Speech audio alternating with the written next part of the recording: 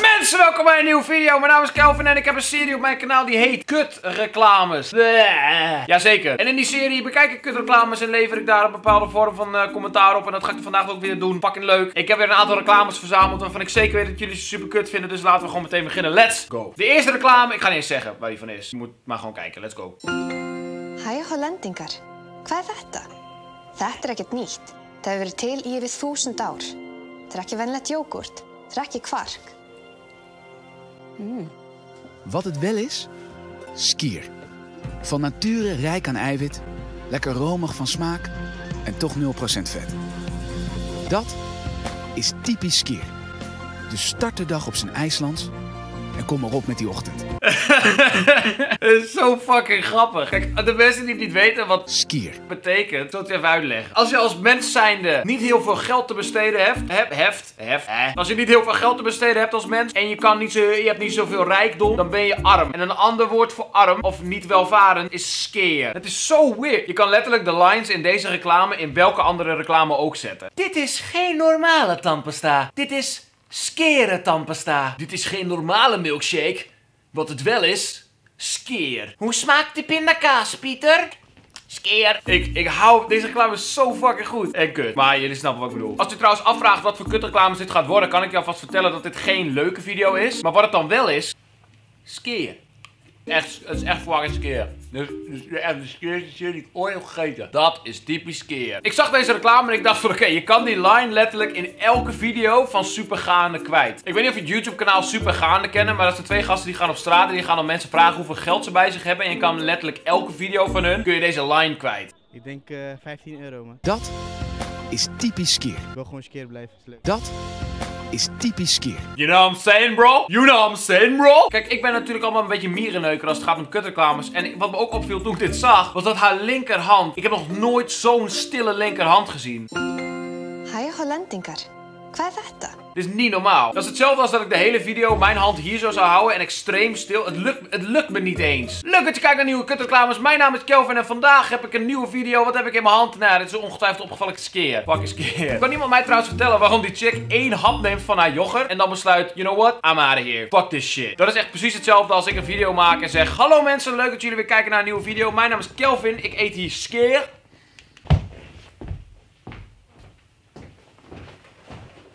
Fucking done.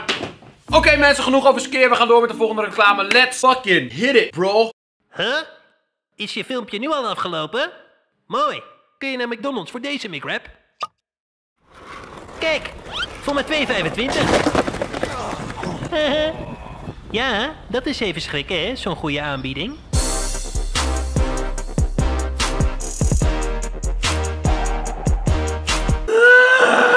Te bevatten hoe raar deze reclame is. Ten eerste, als je op YouTube zit, dan, dan weet jij ook dat als je deze reclame een keer bent tegengekomen, dat die altijd voor het filmpje staat. Dus waarom zou je reclame dan beginnen met... Hey, is het filmpje nu al afgelopen? Nee, ik wil het filmpje nog kijken, maar je... Ah! Ik open ook niet mijn video zo.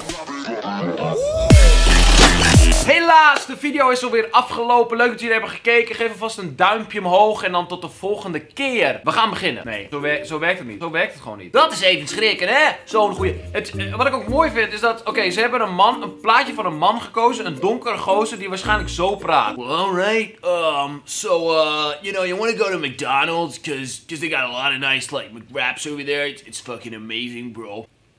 Keer. Maar in plaats daarvan hebben ze de meest kutte voice-over ooit uitgekozen. Kijk, voor maar 2,25.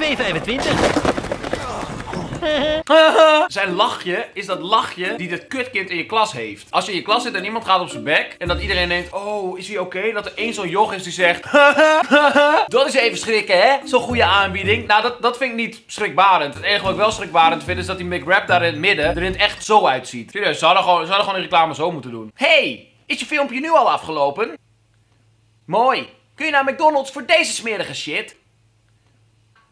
Haha, ja, dat zijn geen goede skateboarders. Wat het wel is, Skeer! Maar genoeg over die jongen. Weet je, die gast kan er niks aan doen. Die heeft waarschijnlijk een fotoshoot gedaan. Die heeft er 500 dollar voor gekregen. En daar was hij weer heel erg blij. Dus nee, geen persoonlijke aanval. Maar wat ik zo kut vind, is als grote bedrijven zoals McDonald's of wat dan ook. Zo'n soort get wrecked-achtige vibe proberen te doen. En dan het compleet fout doen. Zo hip meme-achtig van, oh, dat vinden de jongeren waarschijnlijk leuk. Je weet gewoon zeker dat er in die boardroom, waarin al die mensen van McDonald's hebben gezeten en deze commercial zagen, allemaal zo zaten van, maar, maar waarom, waarom komt dat, waarom komt dat brilletje Waarom komt hij er zo opvliegen? Hoe, waarom? Ik snap het gewoon niet. En dan is er één zo'n hippe marketing dude die daar dan staat en die zegt... Ja, nee, maar dat is, eh, dat snap ik totaal. En ik, ik waardeer je mening, eh, CEO van McDonald's. Maar dit is wat de jongeren tegenwoordig hip vinden. We noemen het get wrecked. En dat betekent dat er op een willekeurig moment allerlei dingen gebeuren waarvan je denkt... Hé, hey, wat gek. Oké, if you say so. Kortom, al die mensen van McDonald's hebben dan hier maar akkoord op gegeven. Zo van, nee, maar is goed, de jongeren zullen het vast wel tof vinden. Nou, ik kan je iets vertellen. Nee, dit is gewoon een ongemakkelijke poging op jip, jip, jip. Eh, op jip. Hip. Ik wou hip zeggen en jong door elkaar. Fuck you. Mochten de mensen van McDonald's kijken. Hallo, mijn naam is Kelvin. Aangenaam. Jullie kunnen, ze gaan nooit meer met mij samenwerken waarschijnlijk. Uh, jammer. Want ik kan, ik kan echt heel veel. Ik kan echt mooie shit maken voor jullie. Maar nee, blijkbaar willen jullie niet bij me werken. Omdat jullie reclames een keer uitverneuk. Nou ja. Weet je, maak dan geen kutreclame. Maar als er mensen van McDonald's kijken, zal ik jullie even uit... Ik ga jullie even laten zien hoe het zou gemoeten hebben. Hoe het moet gezou... Ja, dat is even schrikken, hè? Zo'n goede aanbieding.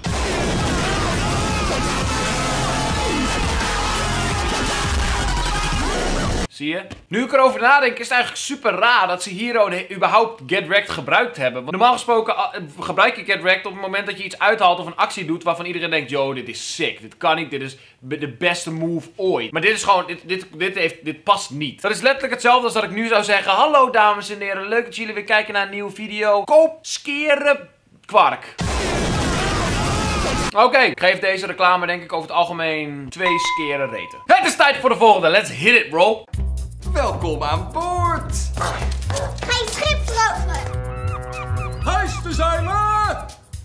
Bananen! Ja, hier! Bananas! Komt-ie! Mama vieren!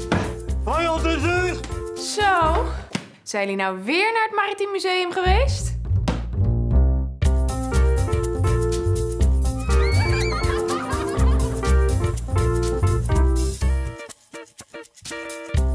Ga ook mee op reis door de maritieme wereld in een museum voor grote en kleine avonturiers. Het Maritiem Museum Rotterdam. Een wereld die je raakt.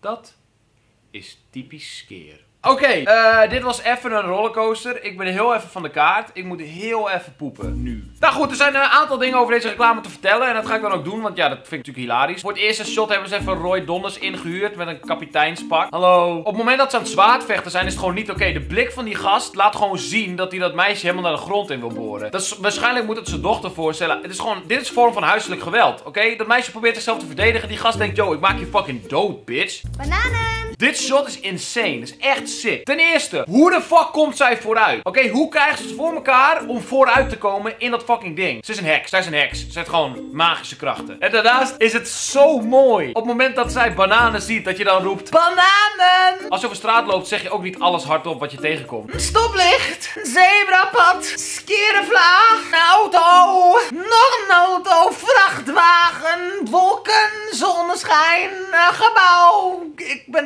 duizelig. Die gast komt achter de bananen weg. Hier, banana's. Banana's. Hij heeft hier letterlijk dezelfde bek als die guy in die McDonald's reclame. Mocht het jullie niet zijn opgevallen, maar er zit ook een demente opa in deze reclame. En ik ga je vertellen waarom ik denk dat hij fucking dement is. Want, oké, we beginnen bij het begin. In het begin gebruikt hij dat gouden ding als toeter. Dat kun je zien, hij is aan het toeteren. Nou, leuk en aardig. Vervolgens gebruikt hij een gouden ding als verrekijker. En dat is waarschijnlijk iets anders, want er zit een glas voor en er zit een ding, dus klopt ook. Een paar seconden later gebruikt hij letterlijk de toeter als verrekijker. Makes no goddamn motherfucking sense, bro. Nee, oké, ik moet niet zo lullen over die opa. Het is waarschijnlijk gewoon een acteur. Hij is niet de band. Weet je wat hij wel is? Skier. Op het moment dat die moeder binnenkomt, super mooi. Die man, die bek van die man is goud. Dat is, dat is het hoofd wat je hebt als je vrouw je betrapt op vreemd gaan. En een uh, paar seconden later komt hij ook nog even klaar in zijn broek.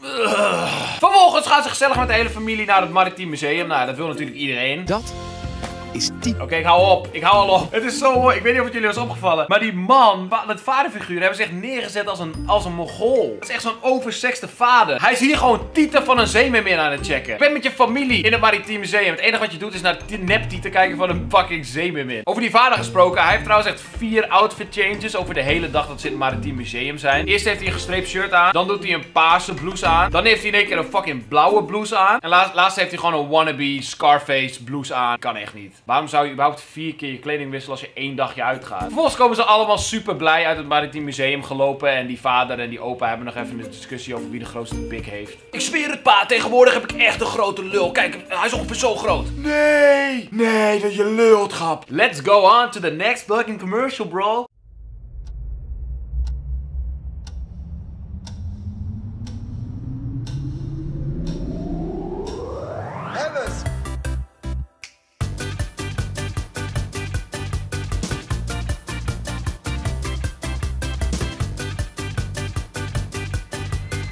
Dag duizenden veilingen.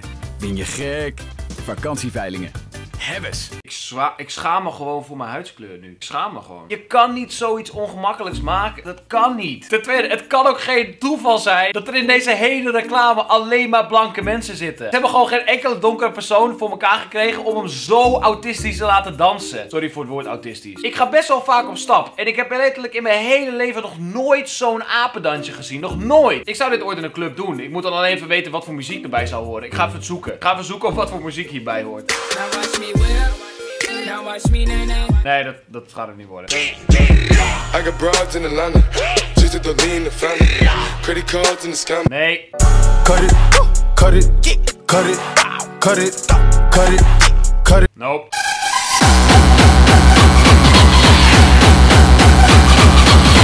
Yeah, motherfucker, that's right. We got it. Het mooie aan de bek van deze gast, de emotie van die gast is zo slecht. Mooi is ook gewoon, in, in het eerste shot als hij danst is hij sick blij. Het volgende shot is hij gewoon, ik heb nog nooit iemand zo gefocust gezien om iets goed te doen. Mag ik niet fout doen? Als ik het goed begrijp, heeft deze jongeman dus voor 48 euro een hotelovernachting gefixt. Dat is typisch skier. Eigenlijk zou dat gewoon de slogan moeten zijn van vakantieveiling. Vakantieveilingen. Dat is typisch skier.